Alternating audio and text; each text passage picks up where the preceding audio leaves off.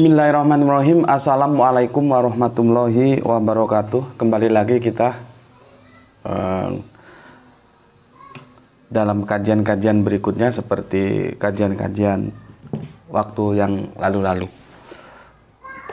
Aku minum dulu. Ini ini namanya kopi senja Karena ini senja hari ini. Bismillahirrahmanirrahim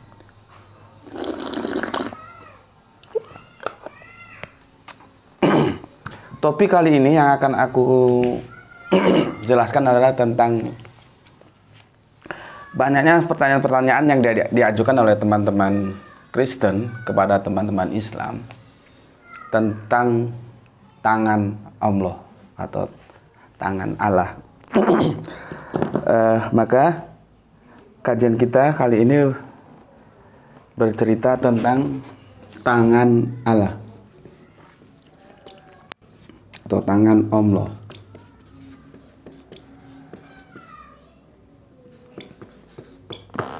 Ya. Ini topik kajian kita. Jadi mau tangan Allah, mau tangan mau Allah, tuh terserah dialek mana yang kamu pakai. Jangan lagi rame masalah dialek. Uh, begini, biasanya mereka menukil hadis yang diriwayatkan oleh Muslim. Jadi hadis ini sohi. Judulnya dua tangan kanan, ya, ya. Jadi begini, pendek sekali. Dan kedua tangan Allah itu kanan, ya. Itu hadis dari muslim. Pendek. Dua dan kedua ta tangan Allah itu kanan. Hadisnya begitu. Terus teman-teman Kristen mempertanyakan berarti Tuhannya orang Islam itu gimana kok tangannya kanan semua? Dan biasanya itu disertai oleh oleh oleh gambar. Padahal di dalam Islam juga di dalam Yahudi itu kita tidak pernah menggambarkan uh, tentang fisik fisik daripada Allah. Karena apa? Karena memang kita tidak pernah tahu tentang Allah secara objektif fisiknya itu seperti apa kita tidak akan pernah tahu. Makanya pada video yang lalu-lalu aku kan sudah bilang, kalau kamu ingin tahu Allah itu secara objektif, ingin tahu Tuhan itu secara objektif, maka lebih baik kamu tidak percaya bahwa Tuhan atau Allah itu ada. Lebih baik begitu saja. Kenapa? Itu sesuatu yang tidak mungkin. Tidak mungkin yang serba terbatas ini akan mengetahui ses sesuatu yang serba maha tidak terbatas. Tidak mungkin. Kita tahu sebatas yang Allah nyatakan saja. Kalau Allah tidak nyatakan lalu kita menyatakan begini-begini itu berarti kamu itu ngarang-ngarang. Kan di sana. Makanya perdebatan perdebatan yang katanya ustadz atau apalah ada yang satu ngotot Allah di mana-mana, ada yang satu mengotot bahwa Allah ada di atas aras ini ayatnya ini ini ini. Itu kan jadi kacau karena kalian memahami teks-teks itu juga secara kacau gitu loh. Kalau yang ngotot bahwa Allah ada di atas aras ini ayatnya terus tangannya setiap orang mulai bilang tangannya ke atas begini itu kan goblokmu. Kenapa bisa goblok? Karena kamu sudah mengikat Allah dalam dimensi ruang dan waktu yang namanya atas. Seluas-luasnya atas tuh dia dibatasi oleh bawah. Berarti Allah menjadi terbatas dong. Terus kamu nggak pernah berpikir Bagaimana Allah mengatakan bahwa innalloha ma'asobirin? Bahwa Allah itu bersama orang-orang yang sabar. Dan Allah juga mengatakan aku tidak jauh dari urat lehermu. Berarti Allah ada di mana? Jadi jangan sembarangan kalau ini ini untuk siapa saja lah, untuk kamu yang Kristen, kamu yang Islam juga yang masih blow on blow on itu tidak semudah itu ketika bagaimana kita akan mengenal Allah. Jadi sebatas apa yang Allah nyatakan saja, nggak usah melampaui itu. Itu pun ketika Allah menyatakan Allah itu juga kita harus hati-hati. Gitu. Kita harus hati-hati. Seperti hadis yang tadi itu, ya. Oleh Kanjeng Nabi dinyatakan ya dalam hadisnya itu begini. Dan kedua tangan Allah itu kanan. Gitu. Jangan lalu terus kamu gambar terus Allah tangannya kanan ini semua. Itu kan goblokmu yang nggak ngerti. Kalau nggak ngerti itu tanya dulu. Ya. Supaya ngerti. Aku juga gitu kalau aku nggak ngerti aku tanya. Aku dulu nggak ngerti ayat ini. Nggak ngerti. Maunya gimana ini ini ayat? Di kitab kejadian ini aku bacakan. Ya. Nih, mak kejadian 62 ya.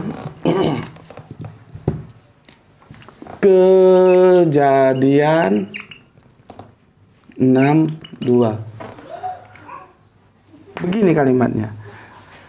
Maka anak-anak Allah melihat bahwa anak-anak perempuan manusia itu cantik-cantik.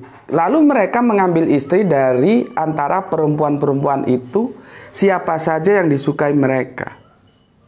Kita bingung bagaimana ada anak-anak Allah. Bagaimana anak-anak Allah itu juga mencintai perempuan-perempuan yang itu manusia lalu diambil menjadi istri-istri mereka. Tentunya nanti menjadi Allah beranak pinak. Kan begitu. Aku dulu bingung dengan ayat ini. Tapi aku tidak serta-merta menyatakan menyalahkan itu ayat. Aku bertanya pada yang lebih tahu tentang itu ayat. Setelah ada penjelasan dari Dr. Lengkong, dia seorang rektor, nggak tahu sekarang sudah profesor mungkin ya. Oh begitu toh kerangka berpikirnya. I'm agree, aku setuju kalau begitu. Artinya ayat ini tidak salah. Cuman bagaimana kita memahami antropologis budaya bangsa Israel ketika mereka menggunakan kalimat-kalimat metafor seperti anak-anak Allah yang dalam konteks kitab ini kejadian 62 ini maka anak-anak Allah melihat bahwa anak-anak perempuan manusia itu cantik-cantik lalu mereka mengambil istri dari antara perempuan-perempuan itu siapa saja yang disukai. Begitu. Kita harus mengerti apa apa yang dimaksud dengan uh, narasi anak-anak Allah itu. Setelah dijelaskan oh ternyata benar. Jadi ini tidak salah gitu Nah, begitu juga kalian, kalau ada mengatakan bahwa tangan Allah kanan, itu kan melanggar logika. Karena kamu belum tahu. Lalu kamu menyalahkan. Kan artinya apa? Kamu menyalahkan dengan kebodohanmu. Kamu blon, kamu bodoh, orang lain kamu salahkan. Seharusnya kalau kamu blon, kamu bodoh, kamu tanya. Apa arti hadis itu? Gitu loh. Begitu. Sebenarnya.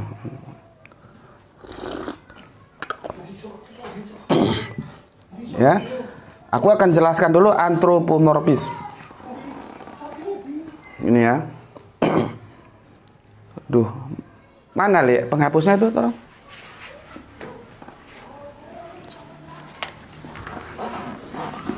Ya. An ter sorry sorry sorry.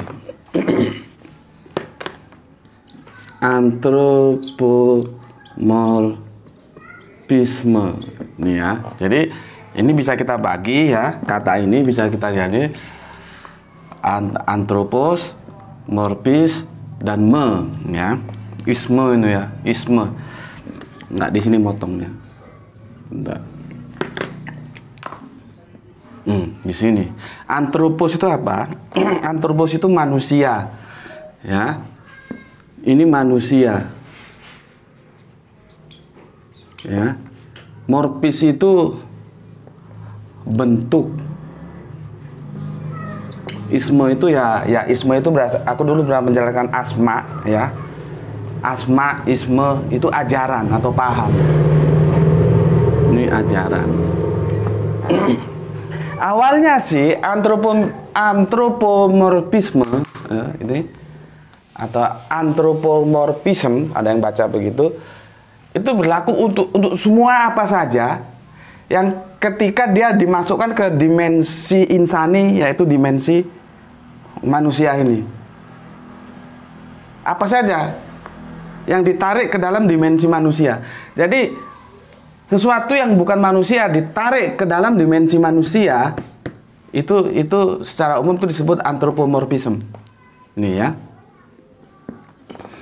Tetapi kalau di dalam kajian-kajian teologis dia menjadi spesifik, jadi tidak begitu. Ya. Ya. Antropomorfisme ya kalau dalam dalam dalam sekolah-sekolah teologis itu adalah menarik dimensi yang ilahi itu masuk ke dalam dimensi yang insani. Gitu loh. Jadi antropologisme kalau di dalam kajian-kajian teologis itu menarik dimensi yang ilahi masuk ke dalam dimensi yang insani. Gitu. Kalau tadi kan umum ya, kalau di sekolah-sekolah teologis menjadi beda gitu ya. Ini siapa? Ini Allah itu. Ini siapa? Ini manusia. Jadi menarik Allah ke dalam dimensi manusia itulah yang disebut antropomorfisme. Nah, dalam dalam hal ini kita harus hati-hati. Cek ngombe sik.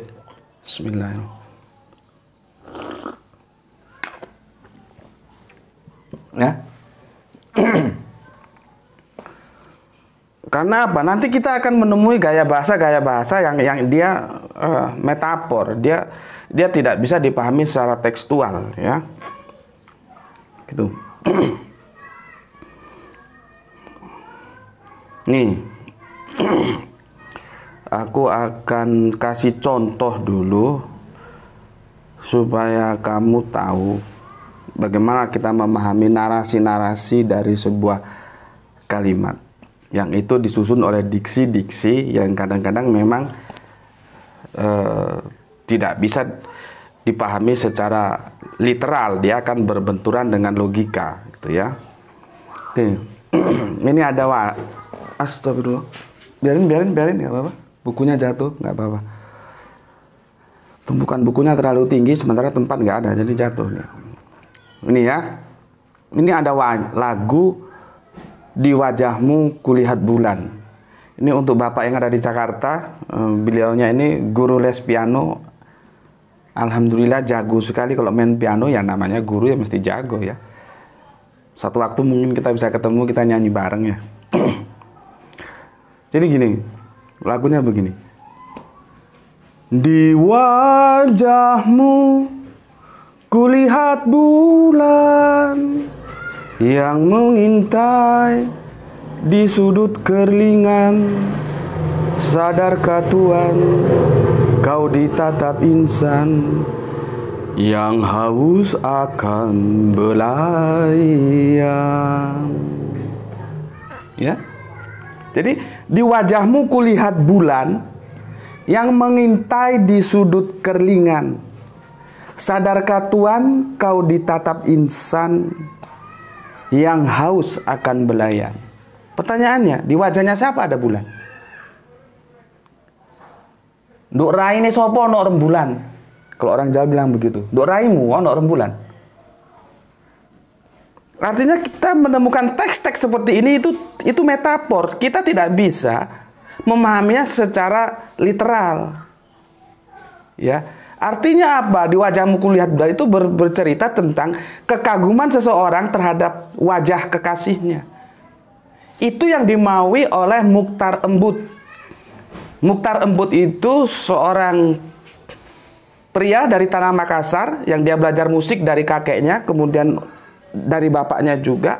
Setelah itu era-era tahun 50 60-an ke Jakarta, kerja di RRI.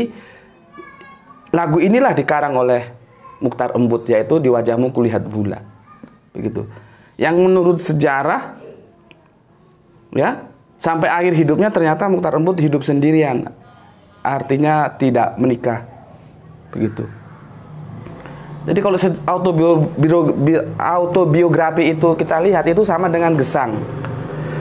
Gesang itu punya pacar, putus, akhirnya dia tidak mau pacaran-pacaran lagi sampai akhir tuanya dia tidak menikah.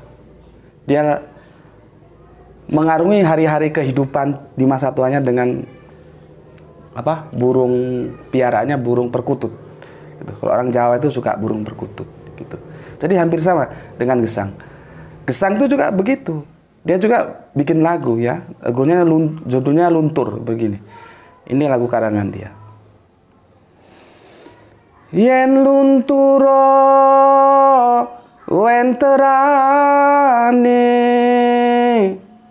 ora koyo yen luntur tresnane tekan tekane atine koyo koyo mung sire dewe ya. Lalu apakah bercerita tentang kain yang luntur? Jadi winter itu pewarna kain. Apakah gesang sedang mengatakan kain itu luntur Iya, tetapi tujuannya bukan begitu. Apa? Cinta yang telah luntur, ya. Tidak, jadi gini. Yen lunturo wenterane. Kalau wenterannya itu luntur, baju atau apa ya? Ya. Ya. Itu ora koyo lunturo tresnane. Tidak seperti lunturnya tresna itu apa? Tresno cinta kasih sayang. Jadi ini bahasa-bahasa perumpamaan. Terus kalau kamu bilang, wah berarti gesang itu bercerita tentang kain yang luntur. Ya, gobloknya kamu kan. Tidak bisa memahami bahasa-bahasa metafora. Itu loh. Sama seperti tadi kitab kejadian tadi. Itu ya. Jadi hati-hati dalam dalam apa memahami bahasa gitu ya. Sementara kita lihat kenapa Ya, aku tulis saja lah ya hadisnya supaya hadisnya pendek kok. Ini sudah ya antropomorfis ya. Sudah ya.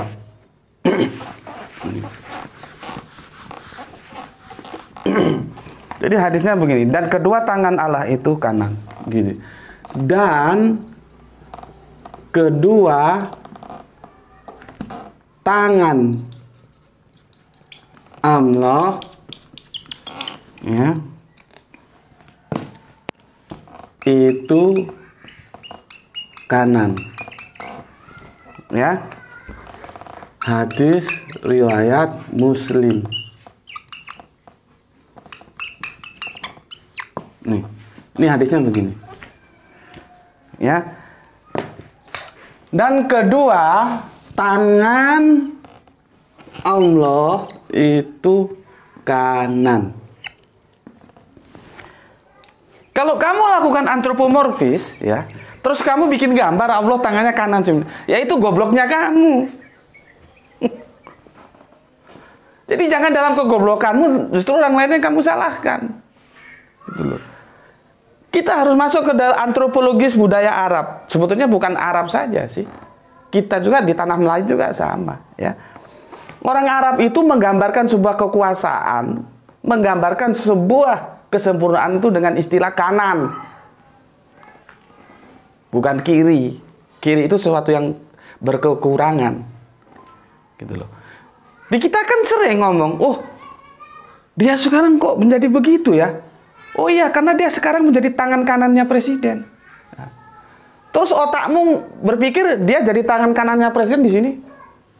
Gitu. kan ya, Ya tidak begitu.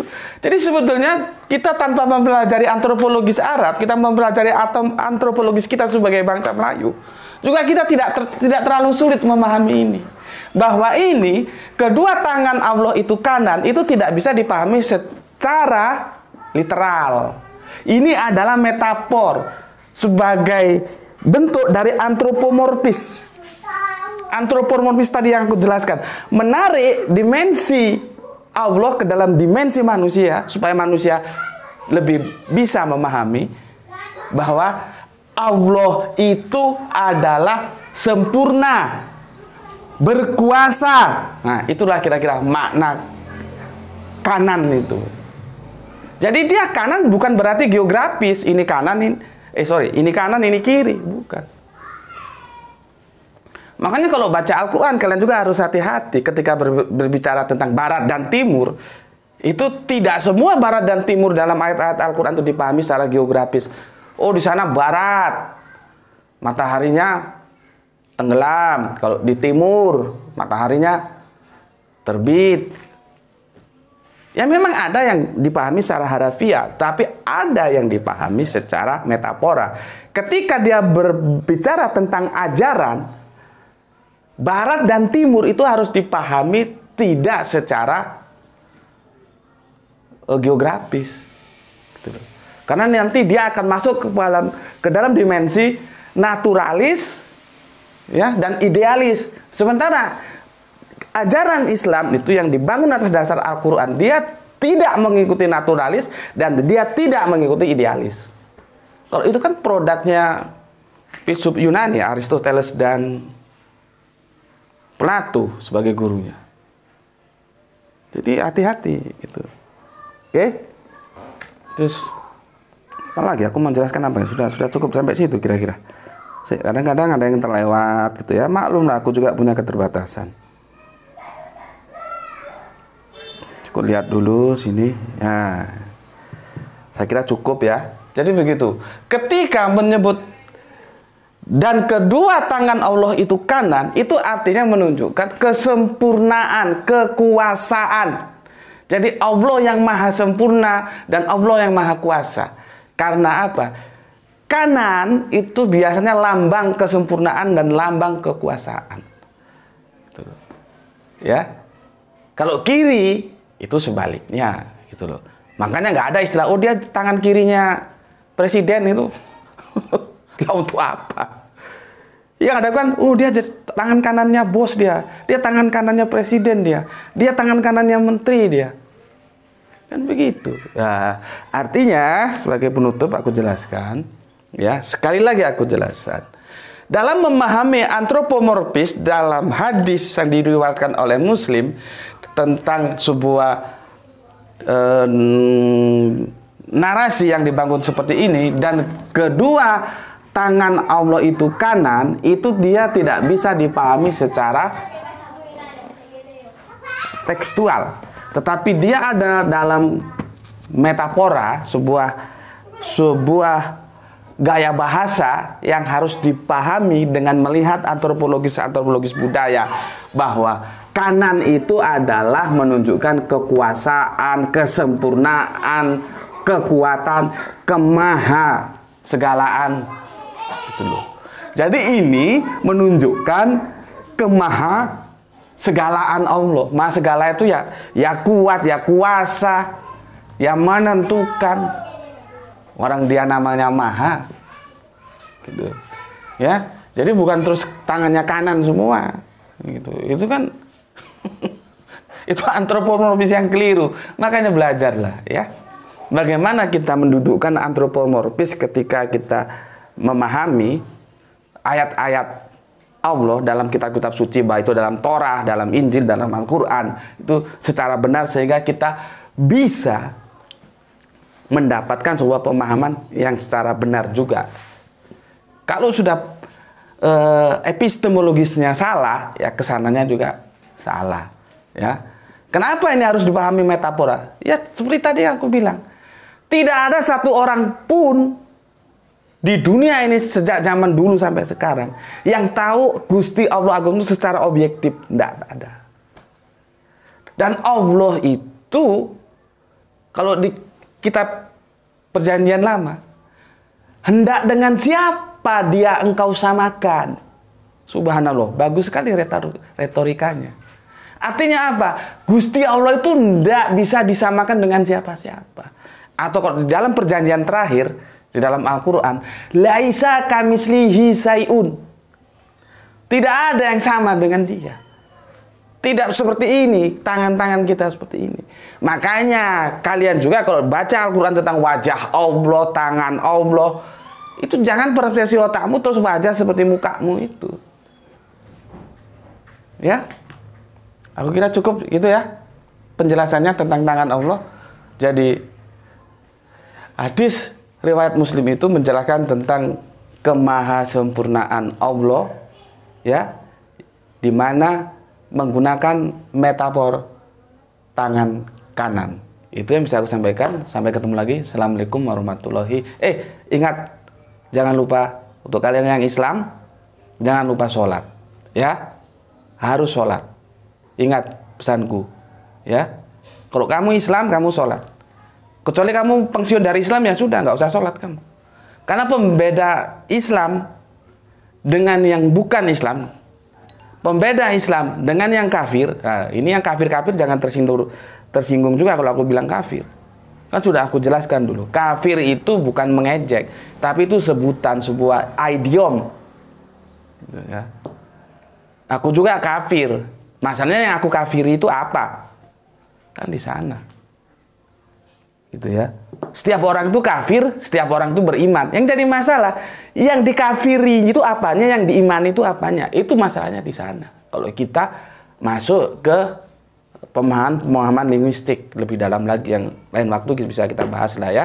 Oke, sampai itu jangan lupa pesanku sholat kamu ya. Oke, assalamualaikum warahmatullahi wabarakatuh.